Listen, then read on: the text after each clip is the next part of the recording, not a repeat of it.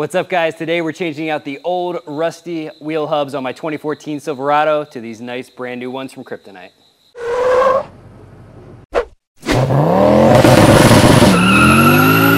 So welcome back to the channel guys. We are again on my 2014 Silverado. And if you're first time tuning into the channel, thank you for joining us. We have a ton of content up on this truck, so be sure to check those videos out. But today we are gonna be upgrading the wheel hubs. We decided to go with Kryptonite wheel hubs. They have a lifetime warranty, which is fantastic.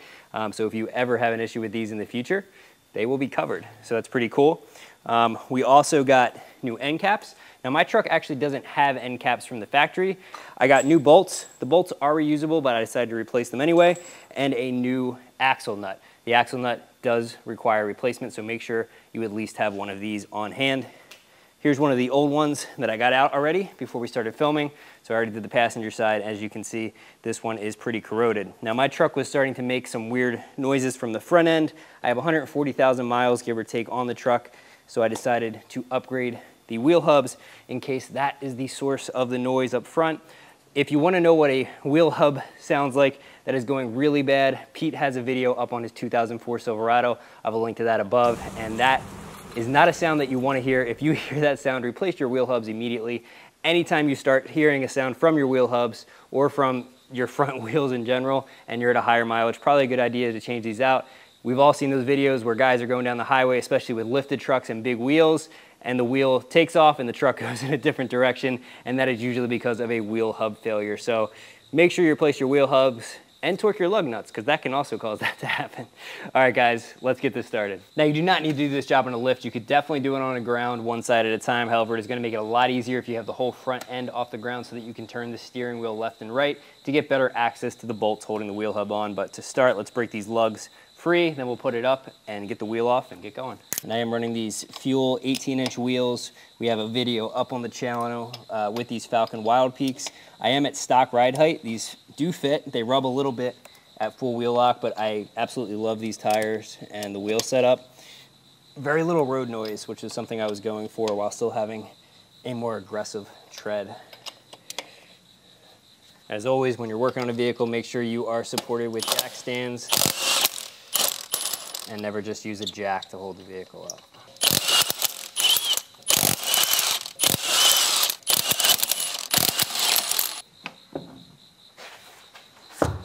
As I mentioned earlier, my truck currently does not have a cap, but we will be adding this on after. Following the official instructions, you're going to take a drift pin like this, and we'll have one of these linked in the description. We'll also have all the parts and tools used in this video down in the description, and it does really help us out when you go through these. But following the official instruction, you're gonna take this drift pin, stick it through your caliper, and lock it into that rotor so this will hold your axle in place while you remove this nut. It is a 35 millimeter nut.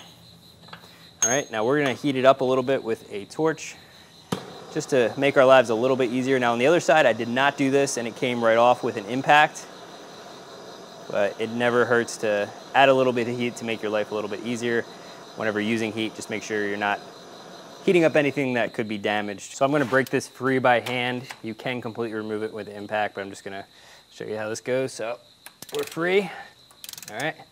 Now I'm gonna move it, remove it the rest of the way with the impact just to save ourselves a little bit of time. This is a good job to have earplugs on for, especially removing this. All right, there we go. And I'm actually gonna leave the nut on there so that as we're banging the hub off, it doesn't go flying off. I'm gonna remove the holding pin from the rotor. This is a T30. And if you wanna know how to upgrade the brakes or replace your pads and rotors, we have a whole video guide up on the channel showing how to do that. We'll have that linked above and in the description. Now we're gonna remove the caliper. It's held in by two 18 millimeter bolts, which I'm gonna break free first, and then remove with the impact. You'll want to have a couple zip ties ready so that you can hold the caliper up. You never want to have the caliper hang by your brake line. Mm -hmm.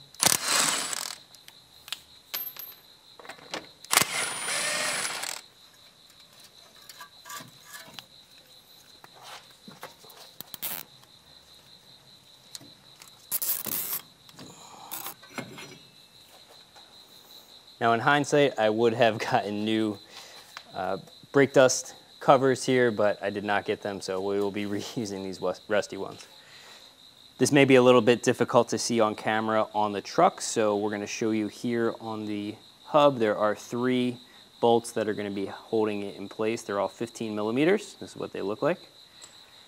Because the axle kind of gets in the way a little bit, I found the best combination that works here is a short uh, 3 8 15 millimeter immediately going into a short um, extension and then I'm sizing up to the half inch to get a little more leverage but you could use a long 3 inch breaker as well. And if you want to throw a little heat on these you can. As you saw that one broke free pretty easily with a nice long breaker bar giving you a little bit extra leverage. Just be careful that you're not damaging the boot on your axle. And this is where having the whole front end off the ground really helps because we were able to turn the wheel to the left and have a lot more access to this third bolt.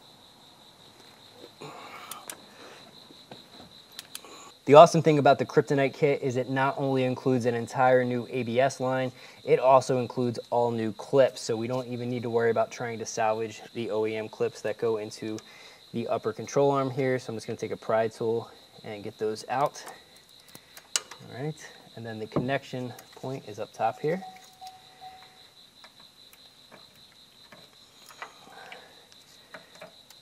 You have to get this red tab to go backwards. It can be a little stuck with age. Once you have that red tab pushed into the release position, you're going to push down this black tab in the center there between the red tab and the body of the clip and pull that apart. And then there's one additional connection right here. And again, we don't need to salvage this clip. So we're just gonna get that out of there. Now this is another good moment for earplugs. We are going to hit this off with a mallet.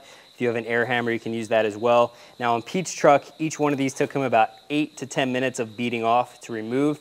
On the other side, it only took me about 30 seconds to a minute, but this is a 2014 versus a 2004, so 10 year newer truck, so 10 years less of corrosion on it. Um, so hopefully this side goes as easily as the other side. Make sure you wear some eye protection while you're doing this. Starting to have a little gap there. She's coming. You can start to see some silver showing through here. And as you can see, this is why it's a good idea to have the nut on the end because if it's just about to go and you give it go one good whack, it's gonna come fly off and land on your foot.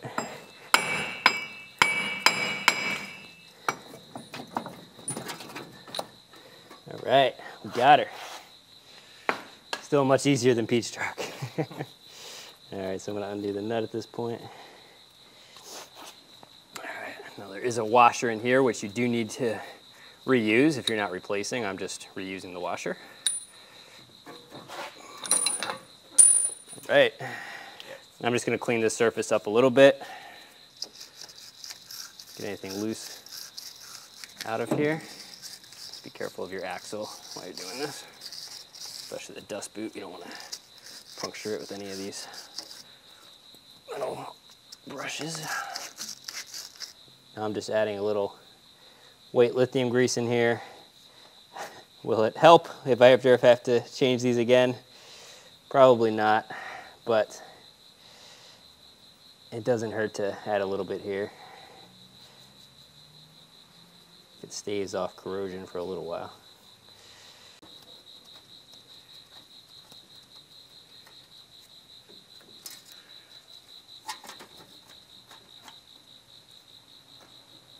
Now that they're all started, I'm just to snug them with the impact and then we're going to torque them down.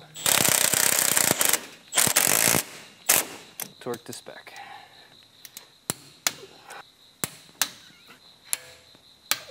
Reconnect your ABS sensor. This connection you really have to push in to make sure it fully clips. There we go.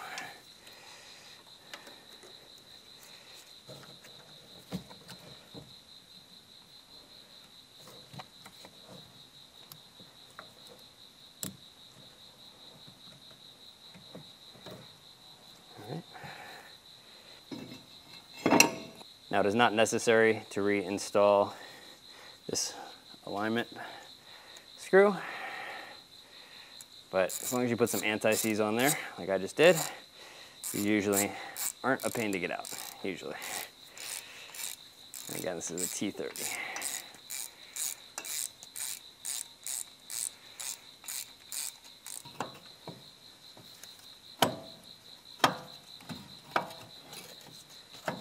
And I always like to put a little bit of anti-seize on my caliper bolts. Just be careful because that can change the torque spec. Now we're going to drive the new nut on with the impact, again 35 millimeters, and make sure your washer is on. Once this is touching, we're going to torque it down. We're pretty much there, so I'm going to switch over to the torque wrench. Got our drift pin back in place, and we're going to torque her down.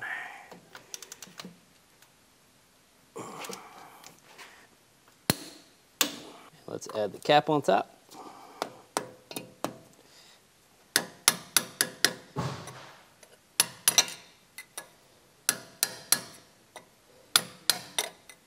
All right, guys, so that is how you change the wheel hubs on your 2014 Silverado. This guide should apply to most trucks from my generation, and really, it's pretty much the same process on most GM vehicles and probably most trucks in general. So I hope this video was helpful. As always, parts are down in the description along with the tools that we used, and when you go through those links, it really does help us out, so we really appreciate it. If you enjoyed the video, thumbs up, subscribe, and we'll see you back next time.